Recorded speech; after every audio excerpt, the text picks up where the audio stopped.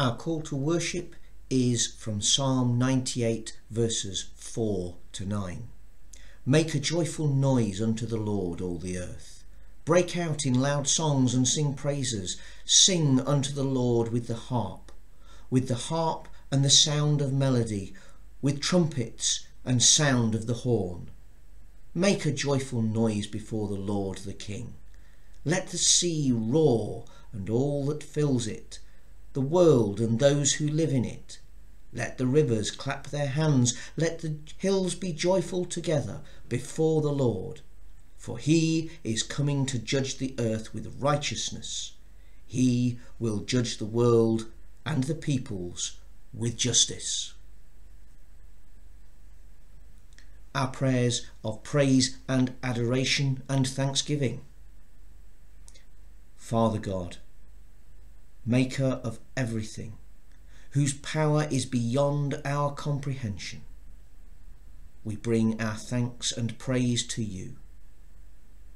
As we worship here today, we are filled with wonder and awe at the things that you have done for us.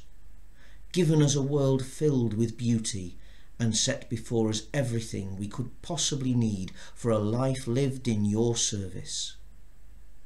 Be with us now in this time together and fill our hearts with the joy of being your children. Amen. And now our prayers of confession and repentance. Heavenly Father, we come before you as sinners. May we learn to forgive those who have hurt us as we would have you forgive us. We bring before you now our own transgressions, our sins of thought and deed, action and inaction, conscious and unknowing, accepting that these have hurt other people and so have hurt you. We repent these sins and seek your strength and guidance to become better than we have been, to work towards being as sinless as you would have us be.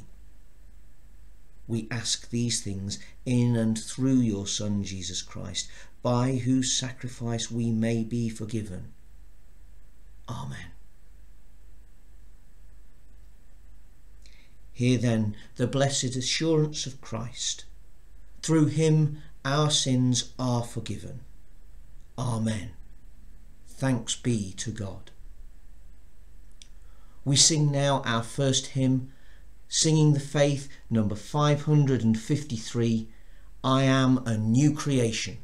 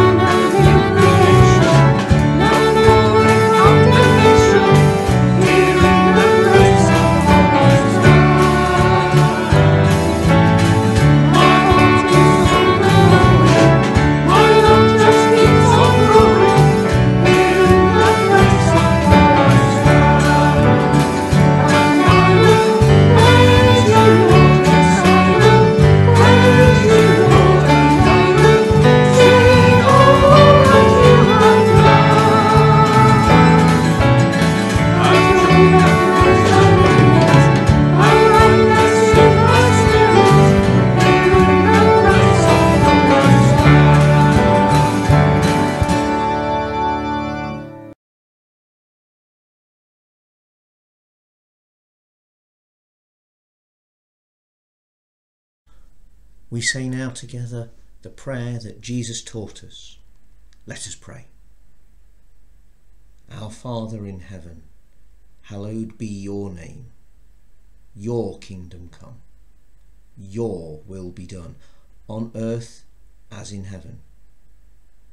Give us today our daily bread. Forgive us our sins as we forgive those who sin against us. Save us from the time of trial and deliver us from evil. For the kingdom, the power, and the glory are yours, now and forever. Amen.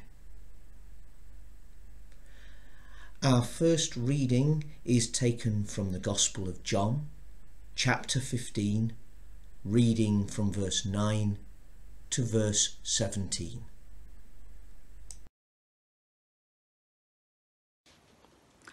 I love you just as the Father loves me. Remain in my love. If you obey my commands, you will remain in my love, just as I've obeyed my Father's commands and remain in his love. I've told you this so that my joy may be in you and that your joy may be complete. My commandment is this love one another just as I love you. The greatest love a person can have for his friends is to give his life for them. And you are my friends if you do what I command you. I do not call you servants any longer, because a servant does not know what his master is doing. Instead, I call you friends, because I've told you everything I have heard from my Father. You did not choose me. I chose you and appointed you to go and bear much fruit, the kind of fruit that endures. And so the Father will give you whatever you ask of him in my name. This, then, is what I command you love one another.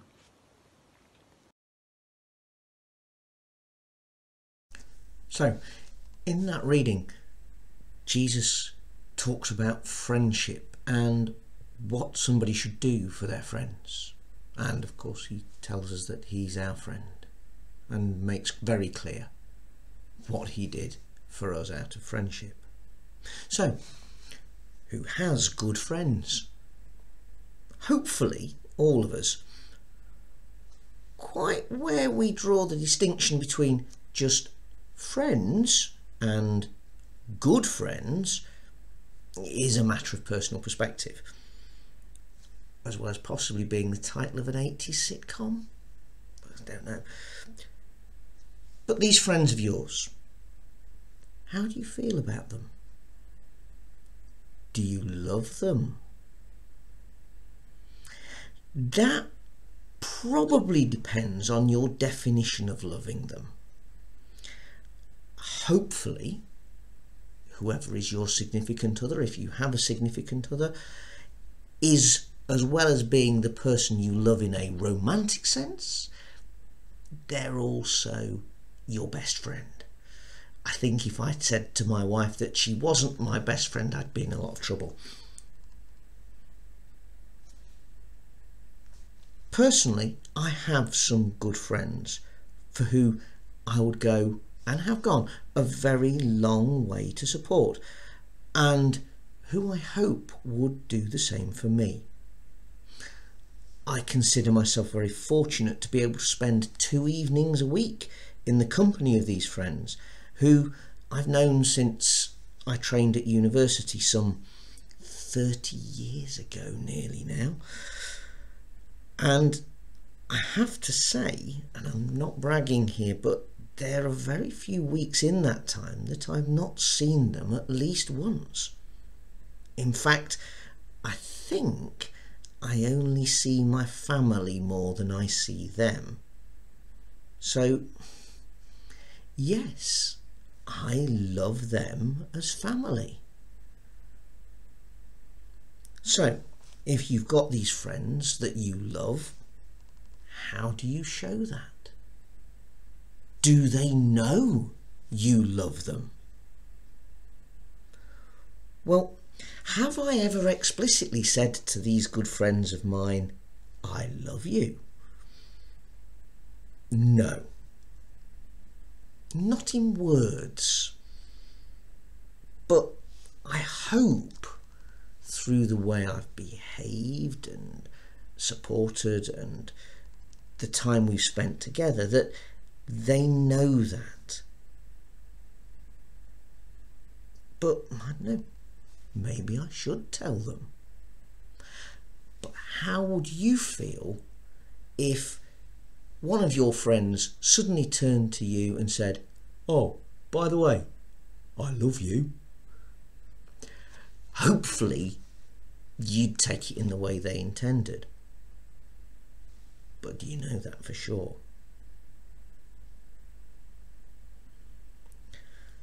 The friends that I have are so important to my wife and I that we ask them to be amongst the godparents of our two daughters. We wanted them to be a part of our family's lives. We've helped them at other times. We've helped them when they've moved. We've helped them move their own kids to university and back. We've helped them in difficult times and at very short notice. I hope they feel that we are there for them. There's no doubt that over the last year, staying in touch with friends has been very challenging. So, how have you managed to stay in touch with friends over the last year? Zoom? Phone? House calls when, when it's permitted? I can hold my hand up to all of those.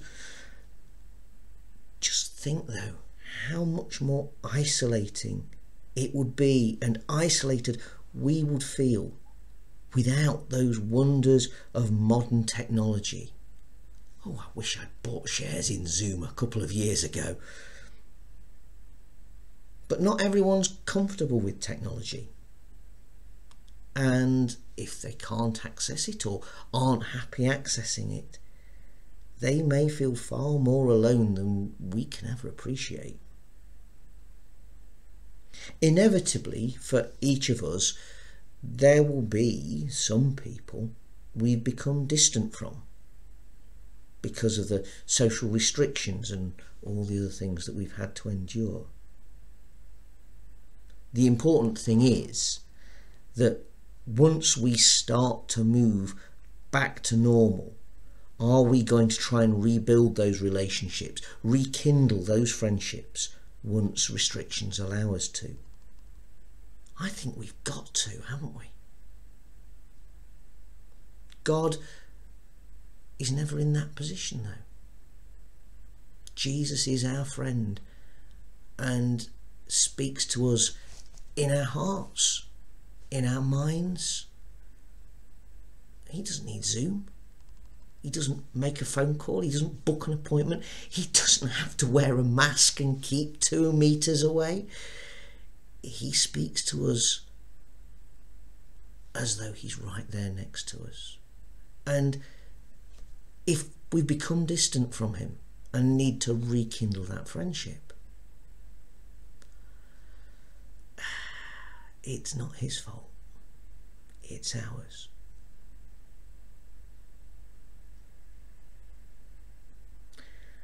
So how have the events of the last year had an impact on your friendship? Have they had an impact? Well, with those good friends, hopefully not, apart from the, the frustration of not being able to spend time with them in the way that we normally would. I feel incredibly fortunate that since my friends and I play board games together as our hobby, that's how we spend those two nights a week. We've been able to use various online platforms and continue our friendship and our interaction through the wonders of the internet. Even so, we still bemoan the fact that we're not meeting face to face. despite the fact that actually the internet's allowed us extra time because normally we'd meet in one another's homes and have to finish at a set time to allow for journey time to get home. Zoom allows you to recover that time. It's fantastic. We've had extra time together. Except we haven't been together, have we? We've just been talking online. How many of our friends are Christians? I sincerely hope that we're not limiting our own friendships exclusively to other Christians. Of my own friends, two of them have faith, but don't really call themselves practicing Christians. Although, over the last few years, I have seen one of them move closer to that. But sadly, I've also seen one have his faith challenged through the loss of his wife. Does his or your friend's lack of faith change your relationship with your friend? I don't think it does mine, but it might for you. Why should it though? More about that later. How do your friends feel about your faith?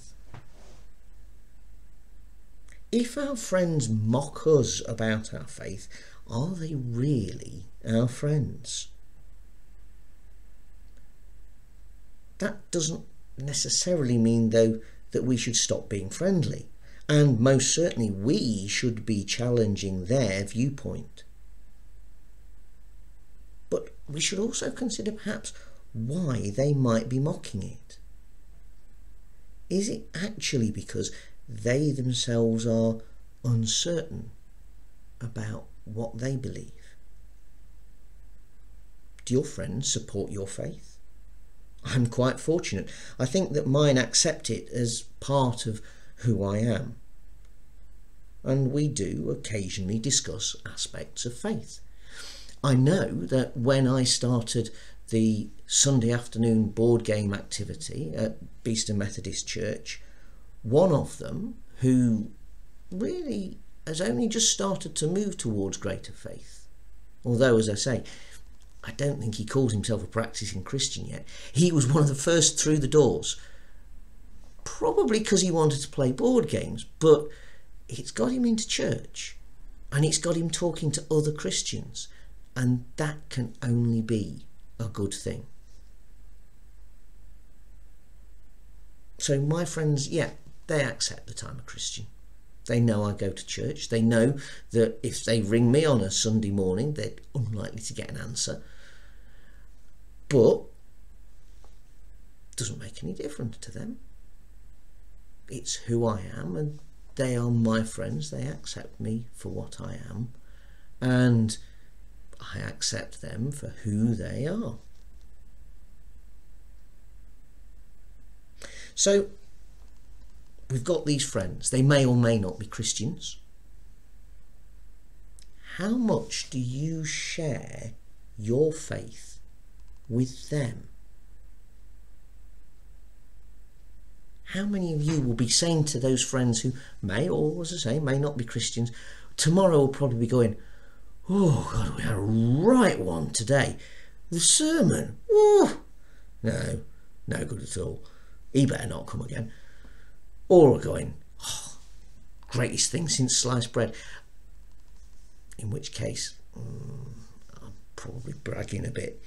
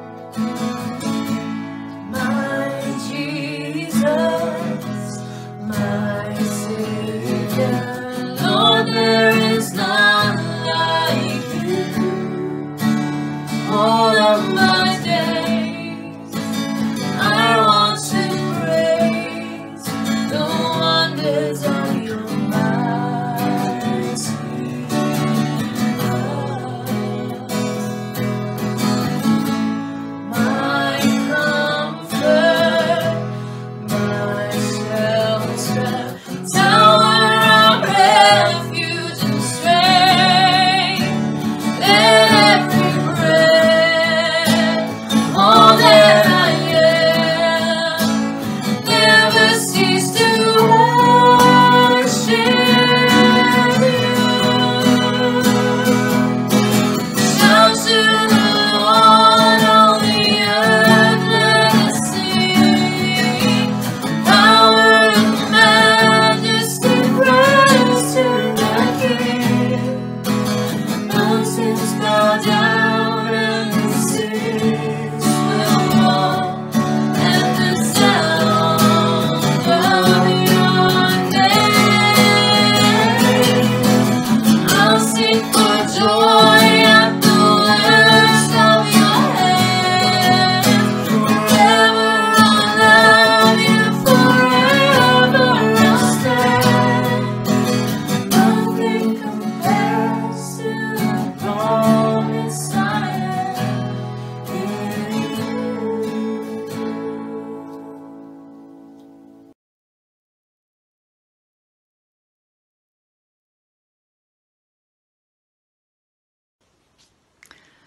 second reading is taken from Acts chapter 10, verses 44 to 48.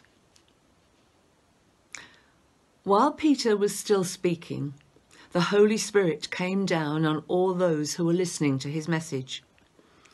The Jewish believers who'd come from Joppa with Peter were amazed that God had poured out his gift of the Holy Spirit on the Gentiles also. For they heard them speaking in strange tongues and praising God's greatness. Peter spoke up. These people have received the Holy Spirit, just as we also did. Can anyone then stop them from being baptized with water? So he ordered them to be baptized in the name of Jesus Christ. And then they asked him to stay with them for a few days.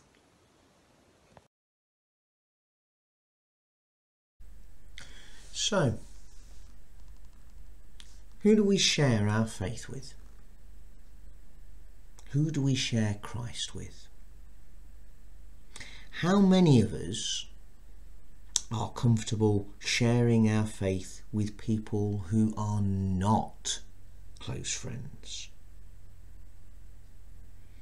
Have we shared our faith with our colleagues at work? Yeah, they, they might know we go to church, but how many of us discuss what that actually means with them? To an extent, human nature's working against us here. The majority of people aren't comfortable discussing personal things with people they're not close to. As a teacher, I discuss my faith with other teachers who I know are Christians quite regularly. But less so with colleagues who aren't. I find it difficult at times to discuss it with the students as well even though some are very interested and are obviously starting to explore what they themselves believe. It's not easy, is it? But we have to ask ourselves who is God's love for? In that second reading, it's made quite clear, it's simple. The answer is it's for everyone, regardless of whether they believe in Christ yet or not. God's love is for them. And when they become aware of God's love for them, then they might start to be Christians. One of the things we should be doing more is to perhaps be a bit more missional in our lives and to share that fact.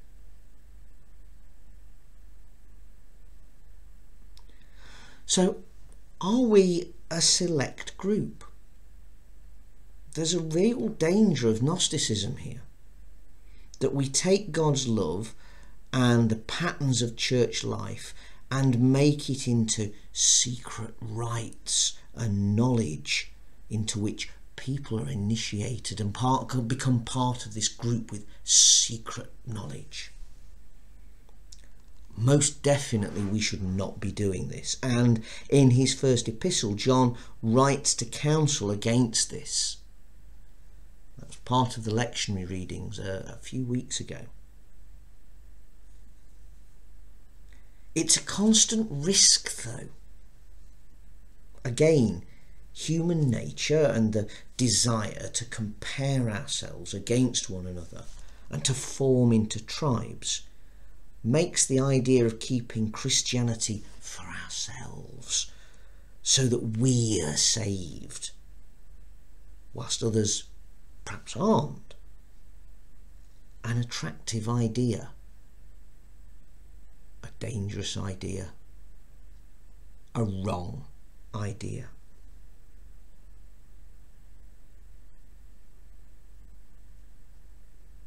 The reading that we've just heard shows this happening.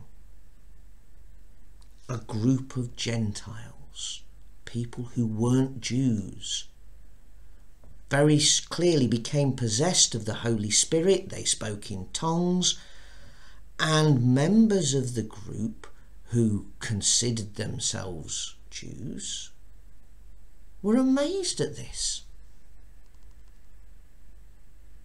And Peter had to challenge them on it.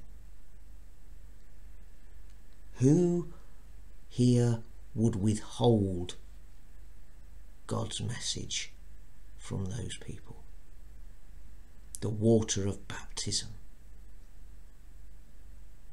Who would keep them from that? Jesus is very clear in his message to his disciples go out and make disciples of all peoples. And he draws no distinctions. All peoples. No keeping the knowledge secret for yourself and sharing it only with a select few. All people. So, how often do you share your faith with others who are not necessarily your friends? Probably not as often as we could or should. But as I said before, human nature makes it a daunting prospect. One of my favourite comedy shows, The Fast Show, had a recurring sketch in which someone, each time from a different walk of life, likened some event in the sketch to the love of our Lord Jesus Christ. Always improbably and in a toe curling, cringe-worthy way that ridiculed anybody really sharing their faith. And so it creates this sort of stereotype. A stereotypical view of Christians. And I've got to say it was my favourite comedy show. It probably still is one of my favourites. But that part of it I just I don't find it funny I find it very disappointing but I also find it enlightening that people still have that sort of viewpoint It's a viewpoint we need to challenge and change. But quite how is a really big, knotty problem, a big challenge. How missional are we? Do we minister to our communities?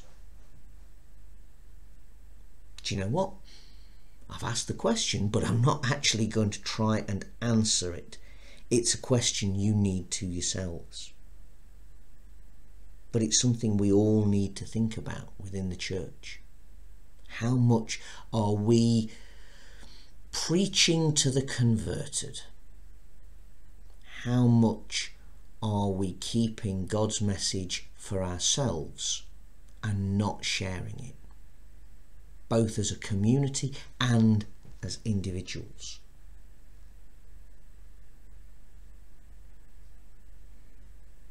The problem is, how do we share our faith? What do we say without it coming across as this cringe-worthy thing that people obviously have seen fit to turn into a comedy sketch? And it's the big worry for lots of people. I don't want to discuss my faith because I might get asked something and I don't know what to say. I came across a great piece of advice recently. It's from a, a friend who's a pioneer minister in the Church of England. And it was how to talk about your faith. And his advice was talk about what you know. And if you get asked something that you don't know about, say, I don't know about that. But what I do know is this. And proceed to talk about your own personal experience of Jesus in your own life. At the end of the day, what you say then is probably more relevant to the person asking the question than we think. And it's certainly something we can speak on with some authority because it's what we know our relationship with God. Yes, it might be growing, it might be developing, it's a continuing journey that we're on through the whole of our lives. But we know what's happening. We know what that relationship means to us and what its impact on our daily lives is. And that is what we can share. If we try to be the person with all the answers, that can be off putting. And we might just get caught out. There's always some smart aleck who keeps asking questions to see how far they can go before either you come out with some complete nutter rubbish or you have to admit, I don't know, and the later you leave that, the more authoritative you seem, and then suddenly go, I don't know. The more your credibility sort of gets challenged. It's better to be honest and to be human, and as soon as there's something you don't know, don't try and fudge it. Be honest about it. I don't know. But what I do know is So, sharing God in our lives.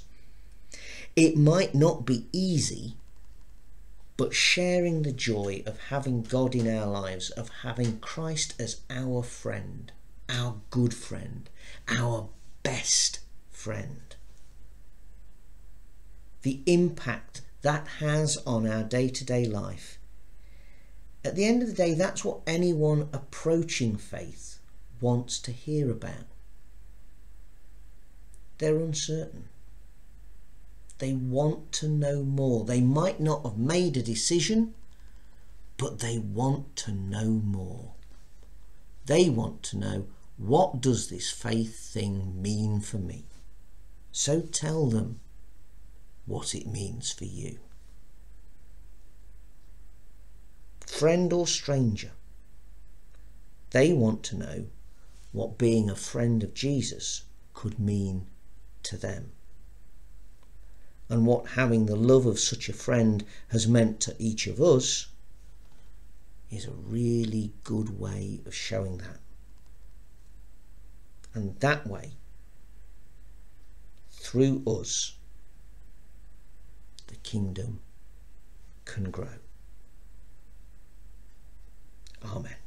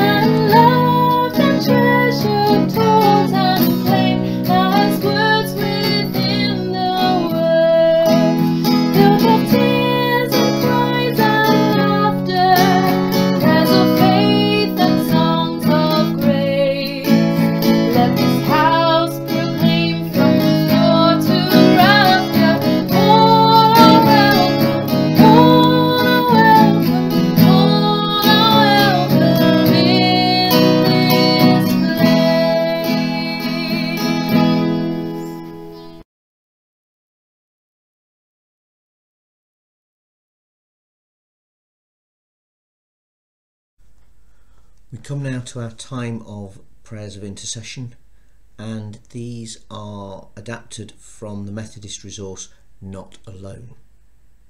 They are responsive prayers. When I say, Gracious God, please respond with, Hear our prayer.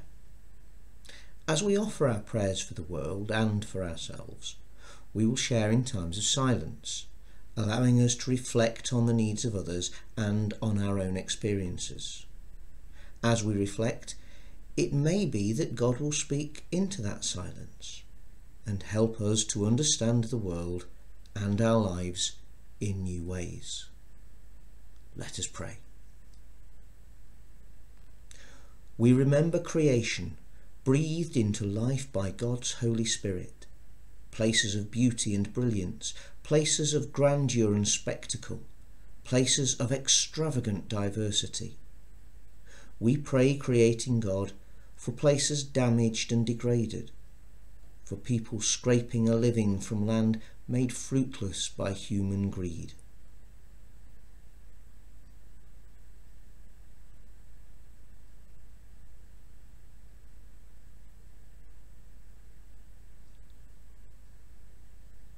Help us to live sparingly and to care for creation.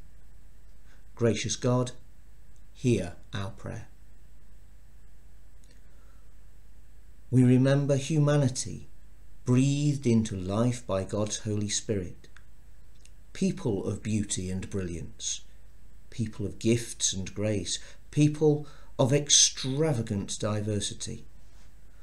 We pray, healing God, for people whose lives are diminished because of things beyond their control, for people facing stigma, violence, disability, illness, grief, poverty or loneliness, for people struggling to find help when they need it.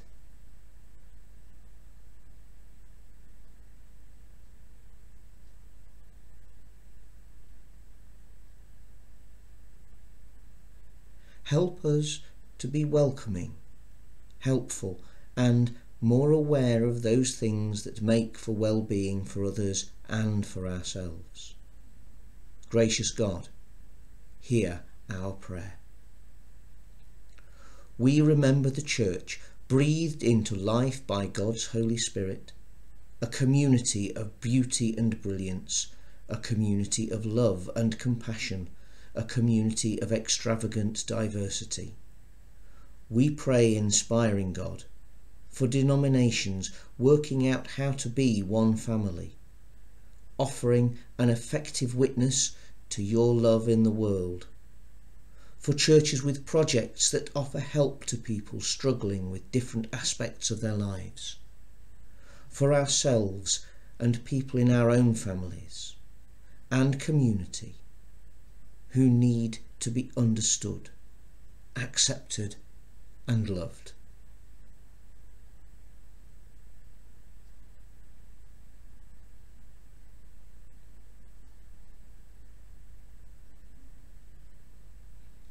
Help us to be willing to change ourselves and inspired to change the world. Gracious God, hear our prayer. In the name of Christ, Amen. We come now to our final hymn, hymn number 407. Hear the call of the kingdom.